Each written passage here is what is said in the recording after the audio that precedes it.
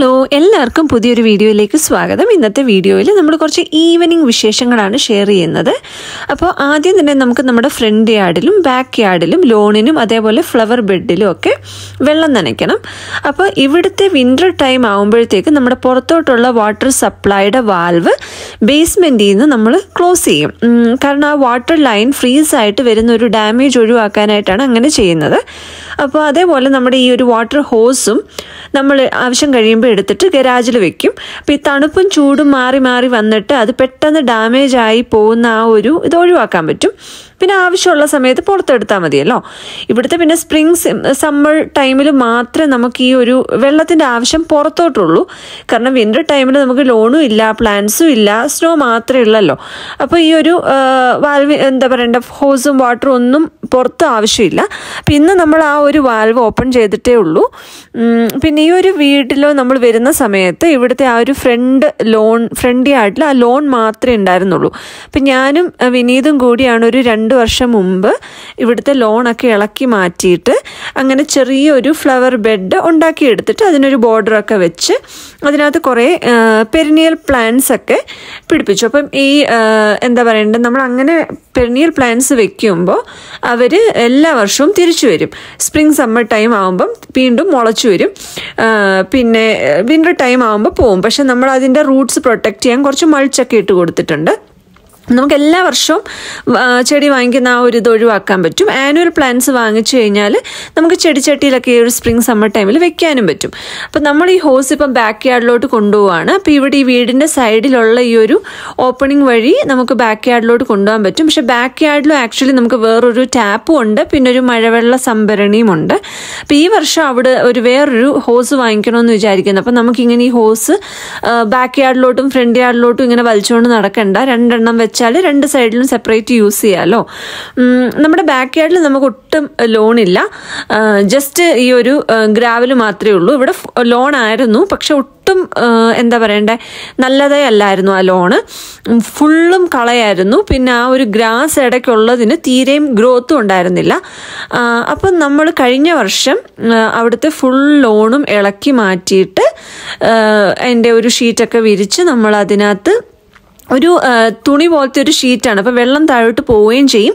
എന്നിട്ട് നമ്മൾ ഈ ഗ്രാവൽ ഇറക്കി നിരത്തുകയാണ് ചെയ്തത്. അപ്പം ഞാനും വിനീതും കൂടിയാണ് ചെയ്തതെങ്കിലും മെജോറിറ്റി വർക്കും വിനീതാണ് ചെയ്തത്.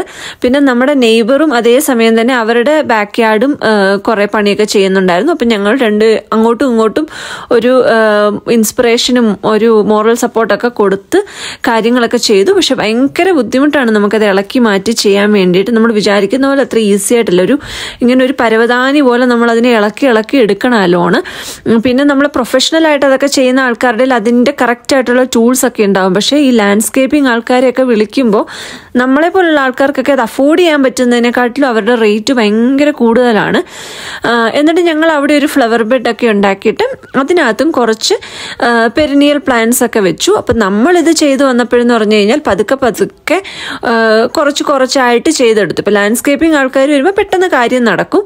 പക്ഷെ നമ്മളെ കൊണ്ട് ചെയ്യുമ്പോൾ നമ്മളത് വളരെ പതുക്കെ പതുക്കെ നമ്മുടെ ആ ഒരു സമയമെടുത്ത് സമയമെടുത്ത് പിന്നെ ഭയങ്കര കട്ടിപ്പണിയല്ലേ? അപ്പം നമ്മൾ പതുക്കെ പതുക്കെ പതുക്കെ ചെയ്തെടുത്തു. അപ്പം നമുക്ക് അത്രയും ഒരു സാറ്റിസ്ഫാക്ഷൻ ഉണ്ട്. നമ്മൾ തന്നെ ചെയ്തതാണല്ലോ എന്നുള്ളത്. പിന്നെ അതിനകത്ത് വെച്ചേക്കുന്ന പ്ലാൻസും പെരിനിയൽ പ്ലാൻസ് ആയതുകൊണ്ട് എല്ലാ വർഷവും തിരിച്ചു വന്നോളും. ഈ വർഷം നോക്കണം എന്തൊക്കെ തിരിച്ചു വരുമെന്ന്. കാരണം കഴിഞ്ഞ വർഷം വെച്ചതായതുകൊണ്ട് കുറേയൊക്കെ ഇങ്ങനെ മുളച്ചു വരുന്നുണ്ടെങ്കിലും ഇപ്പോഴും ഇവിടുത്തെ ആ തണുപ്പ് അങ്ങോട്ട് മാറിയിട്ടില്ലാത്തതുകൊണ്ട് എല്ലാത്തിനും ഒന്നും മുള വന്നിട്ടില്ല. ചിലപ്പം കുറച്ചും കൂടി ഒരു വെതർ വാം ആവുമ്പം കുറച്ചുകൂടിയൊക്കെ മുള വരുമായിരിക്കും. പിന്നെ ഈ ഒരു എന്താ പറയേണ്ട വീൽ വെച്ചിരിക്കുന്നത് എന്റെ നെയ്ബറും എന്റെ ഫ്രണ്ടും ആയിട്ടുള്ള ഒരാൾ തന്നതാണ് എനിക്ക് കേട്ടോ. അത് അവരുടെ വീട്ടിൽ ഇങ്ങനെ ബാക്കിൽ കൊണ്ടുവന്ന് ഇങ്ങനെ വെച്ചിരിക്കുകയായിരുന്നു. അപ്പം ഞാൻ വിചാരിച്ചു ബാക്കിൽ ഡെക്കറേഷൻ ആയിട്ട് വെച്ചതായിരിക്കും. ബാക്കിലല്ല വീടിന്റെ സൈഡിൽ വെച്ചിരിക്കുകയായിരുന്നു അപ്പം ഞാൻ ഇങ്ങനെ ചോദിച്ചു ഇത് എവിടുന്നാ വാങ്ങിച്ചേ? എനിക്ക് ഒരെണ്ണം വാങ്ങിക്കണം. അന്നേരം എന്നോട് പറഞ്ഞു അവർ കളയാൻ വെച്ചേക്കാണ് വേണമെങ്കിൽ എടുത്തുകൊണ്ട് പൊയ്ക്കോ എന്ന് പറഞ്ഞു. അങ്ങനെ ഞാൻ എടുത്തുകൊണ്ട് വന്നതാണ്. അപ്പം അതിൽ ഒരുപാട് തുരുമ്പുണ്ട്. അപ്പം നമ്മുടെ മെറ്റലിന്റെ ആണ് അത് പുറത്തിരിക്കുന്നതുകൊണ്ട് തുരുമ്പുണ്ട്. അപ്പം ഈ വർഷം അതിലെ തുരുമ്പൊക്കെ കളഞ്ഞിട്ടൊന്ന് പെയിന്റ് അടിക്കണമെന്നാണ് വിചാരിക്കുന്നത്. അപ്പം എന്താ പറയണ്ടത് നമ്മൾ ഈ ലോണിന് പകരം ഇവിടെ ഗ്രാവൽ ഇടാനുള്ള റീസൺ എന്ന് വെച്ചാൽ നമ്മൾ കോൺക്രീറ്റ് ഒക്കെ ചെയ്ത് കഴിഞ്ഞാൽ നമ്മളത് വെള്ളമൊന്നും താഴ്ന്നു പോകത്തില്ല. പക്ഷെ ഗ്രാവലാവുമ്പം വെള്ളം മഴ പെയ്യുന്നത് താഴ്ന്നു പോവുകയും ചെയ്യും. ഇപ്പോൾ ലോ നമ്മുടെ സ്നോ പെയ്യുന്നതാണെങ്കിൽ ഉരുകുമ്പോൾ അത് താഴോട്ട് പോവുകയും ചെയ്യും. എന്നാൽ എന്താ പറയണ്ടേ നമുക്ക് മെയിന്റനൻസും വെള്ളവും നമുക്ക് സേവ് ചെയ്യാൻ പറ്റും. ലോണ് മെയിന്റെയിൻ ചെയ്യേണ്ട ആവശ്യമൊന്നുമില്ലല്ലോ. പിന്നെ ദേ ഈ ഒരു മരം കണ്ടു? ഇത് ലൈലാക്ക് എന്ന് പറയുന്ന ഒരു പ്ലാന്റ് ആണ്. അത് നമ്മൾ കഴിഞ്ഞ വർഷം വാങ്ങിച്ചു വെച്ചതാണ്. വിന്റർ ടൈം ആകുമ്പോൾ അതിലെ ഇലയെല്ലാം കൊഴിഞ്ഞു പോയിട്ടുണ്ടാവും. പക്ഷേ ഇപ്പോൾ സമ്മർ ടൈം ആയപ്പോൾ അത് വീണ്ടും ഇങ്ങനെ ചെറുതായിട്ട് നാമ്പൊക്കെ വരുന്നുണ്ട്. മുട്ടിന്റെ മുട്ടും അങ്ങനെ നാമ്പൊക്കെ വന്ന് തുടങ്ങിയിട്ടുണ്ട്. അതിന് തിരിച്ചു വന്ന് നന്നായിട്ട് പൂവൊക്കെ ആവും. അപ്പോൾ അതൊക്കെ കഴിഞ്ഞ് നമ്മൾ വീണ്ടും ഫ്രണ്ട് യാർഡിൽ തന്നെ വന്നു. അപ്പം ഇന്നാണല്ലോ ജസ്റ്റ് ഈ ഒരു വാട്ടർ കണക്ഷൻ ഓപ്പൺ ആക്കിയത്. അപ്പം അതിന്റെ ഒരു ആരംഭ ശൂരത്വം എന്നൊക്കെ നമ്മൾ പറയില്ലേ? ഫസ്റ്റ് ഡേയുടെ ഒരു ഉന്മേഷവും പ്രസരിപ്പും ഒക്കെയാണ് ഈ കാണുന്നത്. കാരണം ഇല്ലെങ്കിൽ നമ്മൾ ശരിക്കും ഇങ്ങനെ ഈ ഓരോ ചെടിക്കായിട്ടൊന്നും നിന്ന് വെള്ളം ഒഴിക്കേണ്ട ആവശ്യമൊന്നുമില്ല. നമുക്ക് ഈ ലോണിന് വെള്ളം ഒഴിക്കാൻ വേണ്ടിയിട്ട് വെക്കുന്ന ഒരു സംഭവമുണ്ട്. അപ്പോൾ അത് വെച്ച് കൊടുത്തു കഴിഞ്ഞാൽ അത് ഓട്ടോമാറ്റിക്കലി ആ ലോൺ ഇങ്ങനെ ആ വെള്ളം നമ്മൾ ടാപ്പ് ഓപ്പൺ ആക്കി വെച്ച് കഴിഞ്ഞാൽ അതിങ്ങനെ നനഞ്ഞോളും. അപ്പോൾ ഈ ചെടിയൊക്കെ തനിയെ നനഞ്ഞോളും. പക്ഷേ ഇന്നിപ്പോൾ ഓപ്പൺ ആക്കിയതിന്റെ ഒരു സന്തോഷത്തിലാണ് ഇവർ ഈ ഷവർ വെച്ചിട്ട് ഇതിനൊക്കെ വെള്ളം ഒഴിക്കുന്നത്. ഇല്ലെങ്കിൽ രണ്ട് ദിവസം കഴിയുമ്പോൾ ഇതൊക്കെ തീരും. ഇല്ലെങ്കിൽ നമ്മൾ ഇങ്ങനെ അതിനെ ഓരോ ചെടിക്കായിട്ട് വെള്ളം ഒഴിച്ചുകൊണ്ട് കൊടുക്കേണ്ട ആവശ്യമില്ല. നമുക്ക് ആ ലോണിന് വെക്കുമ്പോൾ ഓട്ടോമാറ്റിക്കലി അങ്ങ് നനയുകയും ചെയ്യും. അപ്പം നമുക്ക് വെള്ളം സേവ് ചെയ്യാനും പറ്റും. കാരണം അതിന്റെ കൂട്ടത്തിൽ നനഞ്ഞു പൊയ്ക്കോളൂ അല്ലോ? അപ്പം നമ്മളിങ്ങനെ ഫ്രണ്ട് യാർഡിൽ വന്ന് നിൽക്കുമ്പോഴാണ് ഇവർ ഇവരുടെ സൈക്കിൾ പിന്നെ ആ പച്ച കളറിൽ താഴെ കിടക്കുന്ന സാധനത്തിന്റെ സ്കൂട്ടർ എന്നാണ് പറയുന്നത്. അതൊക്കെ എടുക്കുന്നത്. ഇപ്പം ഇവിടെ നമ്മുടെ ശരിക്കും റൂൾ പ്രകാരം ഹെൽമെറ്റൊക്കെ വെച്ചിട്ട് ഓടിക്കണമെന്നാണ് കുട്ടികൾ അപ്പോൾ വാണിയുടെ മുടി രണ്ട് സൈഡിലും കെട്ടി വെച്ചിരിക്കുന്നതുകൊണ്ട് വാണിക്ക് ഹെൽമെറ്റ് പ്രോപ്പർലി വെക്കാൻ പറ്റുന്നുണ്ടായിരുന്നില്ല. അവൾ എങ്ങനെയൊക്കെയൊക്കെ ഒപ്പിച്ചൊക്കെ വെച്ചിട്ട് അവർ ഈ ഒരു നമ്മുടെ ഒരു ആ ഒരു എന്താ പറയുക ബ്ലോക്കിൽ മാത്രമേ ഇങ്ങനെ പോവുള്ളൂ. ഇങ്ങോട്ട് പോകുമ്പോൾ കുറച്ച് ദൂരമുണ്ട് ബ്ലോക്ക് തീരാൻ വേണ്ടിയിട്ട്. അപ്പോൾ ഇവർ അപ്പുറത്തെ വീട്ടിലെ ആ ഒരു ഗരാജിന്റെ ഫ്രണ്ടിൽ ഇങ്ങനെ കറങ്ങി ഇങ്ങി പോരും. എന്നിട്ട് അങ്ങോട്ട് പോകുമ്പോൾ മാത്രം കുറച്ചും കൂടി ദൂരം കുറച്ച് ആ ഒരു ബ്ലോക്ക് തീരുന്നിടം വരെ പോയിട്ട് വരും. അങ്ങനെ നമ്മുടെ ഇവിടുന്ന് അങ്ങനെ ദൂരോട്ട് നമ്മൾ കാണാത്ത സ്ഥലത്തോട്ടൊന്നും അങ്ങനെ പോകത്തില്ല. പിന്നെ അല്ലെങ്കിൽ കൂടുതൽ ഓടിക്കുന്നതെന്ന് വെച്ചാൽ നമ്മളും കൂടി ഒരു വൈകുന്നേരമൊക്കെ നടക്കാൻ പോവുകയാണെങ്കിൽ ഇവർ സൈക്കിൾ സ്കൂട്ടറും ഒക്കെ എടുത്തുകൊണ്ട് വന്നിട്ട് നമ്മുടെ കൂടെ ഇങ്ങനെ ആ, നടന്ന് നമ്മുടെ ഫ്രണ്ടിൽ ഇങ്ങനെ സൈക്കിൾ ഓടിച്ചോ സ്കൂട്ടറോ എടുത്തിട്ടോ ഒക്കെ പോവും. അപ്പം അങ്ങനെ. കിച്ചുവിന് സൈക്കിൾ ബാലൻസ് ഉണ്ട്. പക്ഷെ വാണിക്ക് ഇപ്പോഴും സൈക്കിൾ ബാലൻസ് ഇല്ല. വാണി ഇപ്പോഴും ഇങ്ങനെ എന്താ പറയണ്ടത് നമ്മുടെ ട്രെയിനിങ് വീൽസ് ഉള്ള സൈക്കിളൊക്കെയാണ് ഓടിക്കുന്നത്. കിച്ചുവിന്റെ കുഞ്ഞുനാളത്തെ ഒരു സൈക്കിളാണ് ഓടിക്കുന്നത്. അപ്പോൾ ഇതാ ഇപ്പം ആ ലോണിൽ വെച്ചേക്കുന്ന ആ ഒരു കണക്ട് ചെയ്തേക്കുന്ന സംഭവം അത് നമ്മൾ വെച്ചു കൊടുത്തു കഴിഞ്ഞാൽ അതിങ്ങനെ റെയിൻബോ പോലെ അങ്ങോട്ടും ഇങ്ങോട്ടും അത് ചാഞ്ഞ് ചാഞ്ഞ് ലോണിന്റെ രണ്ട് വശവും നനയും. അപ്പം വാണിക്ക് വാണി കൊണ്ട് വാണിയുടെ സ്കൂട്ടർ കഴുകാൻ വേണ്ടിയിട്ട് അവിടെ കൊണ്ടിട്ടിരിക്കുക അപ്പം കുറേ വെള്ളമൊക്കെ ഇപ്പുറത്തെ സൈഡിലോട്ടും വീഴും. നമ്മളത് വെള്ളം കുറച്ച് വെച്ച് കഴിഞ്ഞാൽ പിന്നെ നമ്മൾ ആ ഒരു നടുക്ക് വെക്കും. അപ്പോൾ രണ്ട് വീട്ടിലെയും വെള്ളം നനയും. അപ്പുറത്തെ വീട്ടിൽ ശരിക്കും പറഞ്ഞാൽ അവർ എപ്പോഴും അവിടെ കാണത്തില്ല. അപ്പം അവർ ലോണൊന്നും അത്രയും നോക്കാറില്ല. അതുകൊണ്ടാണ് അതിന് ഫെർട്ടിലൈസർ ഒന്നും ഇടാത്തതുകൊണ്ടാണ് അത് അങ്ങനെ കിടക്കുന്നത് പിന്നെ അവരൊട്ടും പിന്നെ നമ്മൾ വെട്ടുമ്പം വെട്ടും വെള്ളം ഒഴിക്കുമ്പോൾ വെള്ളം ഒഴിക്കും അതിന്. പക്ഷേ നമ്മളതിന് ഫെർട്ടിലൈസർ ഒന്നും ഇടാറില്ല. കാരണം അതിനകത്ത് ഒരുപാട് കളയുണ്ട്. അപ്പോൾ അത് കാരണം നമ്മുടെ ഫ്രണ്ടിലത്തെ ലോണിലോട്ടും കുറേ കളകൾ വരുന്നുണ്ട്. കാരണം അത് കളകളൊക്കെ ശരിക്കും പറഞ്ഞാൽ കുത്തിയിരുന്ന് ഓരോന്നോരോന്നായിട്ട് പറിക്കണം. അത് നമുക്ക് ഓരോന്നോരോന്നായിട്ടൊക്കെ ചെയ്യാൻ പറ്റത്തില്ല. അവിടുത്തെ എന്ന് വെച്ച് കഴിഞ്ഞാൽ ശരിക്കും ഭയങ്കര കളയാണ്. അപ്പം ഇനിയിപ്പം ഞാൻ കഴിഞ്ഞ വർഷം വാങ്ങിച്ചൊരു ഫ്ലവർ എന്താ പറയുക ബേർഡ് ബാത്താണ്. അപ്പം ബേർഡ് ബാത്തിന്റെ മേൽഭാഗമാണത്. എന്ന് വെച്ചാൽ നമുക്ക് അതിനകത്ത് വെള്ളം ഒഴിച്ച് വയ്ക്കുക അപ്പോൾ ഈ കിളിയൊക്കെ ഈ സ്പ്രിങ് സമ്മർ ടൈമിൽ വരുന്ന കിളികളൊക്കെ അതിനകത്ത് വന്നിട്ട് അവർ കുളിച്ച് പിന്നെ അവർക്ക് വേണ്ടിയിട്ട് നമുക്ക് ആഹാരം വാങ്ങിക്കാൻ കിട്ടും അവർക്ക് കഴിക്കാനുള്ള. അപ്പോൾ അതൊക്കെ നമുക്ക് കെട്ടിയിട്ട് കൊടുത്തു കഴിഞ്ഞാൽ അവർ വന്ന് കഴിച്ച് കുളിച്ച് ഒക്കെ പൊക്കോളും. അപ്പം ആഹാരം കിട്ടുന്നിടത്തോട്ട് ഇവർ വരികയും ചെയ്യുമല്ലോ അപ്പം അതിന് വേണ്ടിയിട്ട് ഞാൻ കഴിഞ്ഞ വർഷം ഓടി നടന്ന് വാങ്ങിച്ച ഒരു ബേർഡ് ബാത്ത് ആണ് പക്ഷെ അതിന്റെ താഴത്തെ വേസ് കാണാൻ ഭയങ്കര ഭംഗിയായിരുന്നു. അപ്പോൾ അത് കാരണം എനിക്കതിനെ കൊണ്ട് പുറത്ത് വെച്ച് വെയിലൊക്കെ കൊള്ളിച്ച് മഴയൊക്കെ കൊള്ളിച്ച് അഴുക്കാക്കി കളയാൻ തോന്നിയില്ല. അപ്പം ഞാൻ അതിനെ അവസാനം പെരക്കകത്ത് വെച്ചിട്ട് ഈ ഒരു ഗ്ലാസിന്റെ ഭാഗം മാത്രം ഇങ്ങനെ ഗരാജിലിരിക്കുകയായിരുന്നു അപ്പം ഇപ്പം ഞാൻ ഓരോ ഓരോ ചട്ടിയായിട്ട് എടുത്തുകൊണ്ട് വന്നിട്ട് ഏതെങ്കിലും ഒരു ചട്ടിയുടെ മുകളിൽ അത് പെർഫെക്റ്റ് ആയിട്ടൊന്ന് ഇരിക്കുമോ എന്ന് നോക്കുകയാണ് കാരണം ഇരിക്കുവാണെങ്കിൽ ഈ ചട്ടി വെച്ചിട്ട് ബാക്കിൽ വെക്കാം. എന്നിട്ട് നമുക്ക് പെർഫെക്റ്റ് ആയിട്ടുള്ള എന്തെങ്കിലും ഒരു വേസ് എപ്പോഴെങ്കിലും കിട്ടുമ്പം വെക്കാന്ന് വിചാരിച്ചു. അപ്പം നമ്മുടെ ഓപ്പോസിറ്റ് സൈഡിൽ താമസിക്കുന്ന നെയ്ബർ പുള്ളി വന്നിട്ട് നമ്മൾ വെള്ളം ഒഴിക്കാൻ തുടങ്ങി നിങ്ങൾ നിങ്ങളുടെ ഗ്രാസ് ഗ്രീൻ ആക്കുവാണോ എന്നൊക്കെ പറഞ്ഞ് പുള്ളി ഒരു ഹായ് ഒക്കെ പറയാൻ വന്നതാണ്. പുള്ളി എല്ലാ വർഷവും ഇങ്ങനെ എന്തെങ്കിലുമൊക്കെ കമന്റ് അടിക്കും. നമ്മൾ ചെടിയൊക്കെ കുറേ ഇങ്ങനെ പൂക്കളൊക്കെ വരുമ്പോഴത്തേക്ക് ഓ നിങ്ങളുടെ ഫ്രണ്ട് യാർഡ് ഭയങ്കര ഭംഗിയാണ് അങ്ങനെയൊക്കെ പറഞ്ഞിട്ട് കുറേ കമന്റൊക്കെ അടിക്കും. ആ അപ്പം പുള്ളി വന്നൊരു സൗഹൃദം പുതുക്കാൻ വന്നിട്ട് പോയതാണ്. അപ്പം ഞങ്ങൾ രണ്ടുപേരും കൂടി ഇങ്ങനെ ഓരോ ഓരോ ചട്ടിയായിട്ട് എടുത്തു വെച്ചിട്ട് നോക്കുകയാണ്. അപ്പം ഞങ്ങൾ വിചാരിക്കുന്നത് ചട്ടിയുടെ പുറത്ത് വെച്ചിട്ട് അത് ഒട്ടിക്കണ്ട. ചട്ടികൾ ഒട്ടിച്ചിട്ട് വെക്കാം. ഇൻ കേസ് ചട്ടി അഴുക്കായി പോവുകയാണെങ്കിൽ നമുക്ക് അടുത്ത വർഷം വേറെ ഇതിനകത്ത് വെക്കാമല്ലോ അങ്ങനെ ഒരു പ്ലാനിലാണ്. പക്ഷെ അതിന് പെർഫെക്റ്റ് ആയിട്ടുള്ള ഒരു വേസ് കാണുവാണെങ്കിൽ വലിയ ലുക്കൊന്നും ഇല്ലാത്ത ഒരു വേസ് കാരണം ലുക്കുള്ള വേസ് കണ്ടു കഴിഞ്ഞാൽ വീണ്ടും ഞാൻ ബേഡ്സിന് കൊടുക്കാതെ അത് അടിച്ചു മാറ്റാനുള്ള ചാൻസ് ഉണ്ട്. കാരണം എനിക്ക് കിട്ടിയ വേസ് ഞാൻ എപ്പോഴെങ്കിലും ഇതിനകത്ത് കാണിച്ചു തരാം. അല്ലെങ്കിൽ ഞാൻ അതിന്റെ ഫോട്ടോ ഇവിടെ ആഡ് ചെയ്യാം. നല്ല ഭംഗിയുള്ളൊരു വേസാണ് നമ്മുടെ ഉപ്പുമാങ്ങ ഭരണിയൊക്കെ പോലെ. അപ്പോൾ എനിക്കത് വെളി വെളിയിൽ കൊണ്ട് വെക്കാനായിട്ട് തോന്നിയില്ല. അപ്പം കിച്ചു മാണി അവരുടെ വാട്ടർ ഗണ്ണൊക്കെ എടുത്ത് കുറേ ഇങ്ങനെ കളിയൊക്കെ തുടങ്ങി.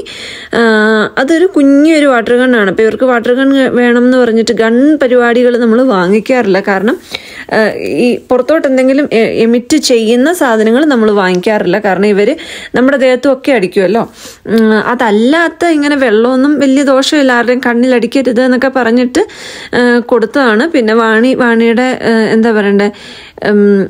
സ്കൂട്ടർ കഴുകിക്കൊണ്ടിരിക്കുകയാണ്. വാണിയുടെ സ്കൂട്ടർ അല്ല ഇവരുടെ കോമൺ രണ്ടുപേരും യൂസ് ചെയ്യുന്നത്. അപ്പം അപ്പോൾ അതൊക്കെ ഇങ്ങനെ കഴുകിക്കൊണ്ടിരിക്കുന്നു. അതൊക്കെ കഴിഞ്ഞിട്ട് ഞങ്ങൾ ഫൈനലി ചട്ടി ഏത് വേണം എന്നൊക്കെ ഒന്ന് ഡിസൈഡ് ചെയ്തിട്ട് ഒന്ന് ഒട്ടിച്ചു വെക്കാമെന്ന് വിചാരിച്ചു. എന്നിട്ട് ആ മുകളിലത്തെ ചട്ടിയുടെ പുറത്ത് കുറച്ച് നമ്മുടെ പുട്ടി വെച്ച് അതൊന്ന് അണ്ണീവൻ ആക്കിയിട്ട് അതിന്റെ പുറത്ത്. കാരണം ഇല്ലെങ്കിൽ അത് തിന്നുന്നുണ്ടായിരുന്നു. അങ്ങനെ ഒന്ന് എന്നിട്ട് വേണം ആ ഫ്ലവർ ബേഡ് ബാത്ത് വെക്കാമെന്ന് വിചാരിക്കുന്നു. അപ്പോൾ എന്നിട്ട് നമ്മൾ അതിന്റെ പുറത്ത് കുറച്ച് വെയിറ്റ് ഒക്കെ എടുത്ത് വെച്ചു. അങ്ങനെ സെറ്റ് വിചാരിക്കുന്ന സംഭവം. പിന്നെ ഇത് നമ്മൾ ഞാൻ കുറേ ചെടിയൊക്കെ വാങ്ങിച്ചുകൊണ്ട് വന്നതാണ് അതെല്ലാം ഇപ്പോൾ ഇങ്ങനെ താഴെ ഉള്ളൊരു വാഷ്റൂമിനകത്ത് വെച്ചിരിക്കുകയാണ് കാരണം നമുക്ക് പുറത്ത് വയ്ക്കാൻ പറ്റുന്നില്ല.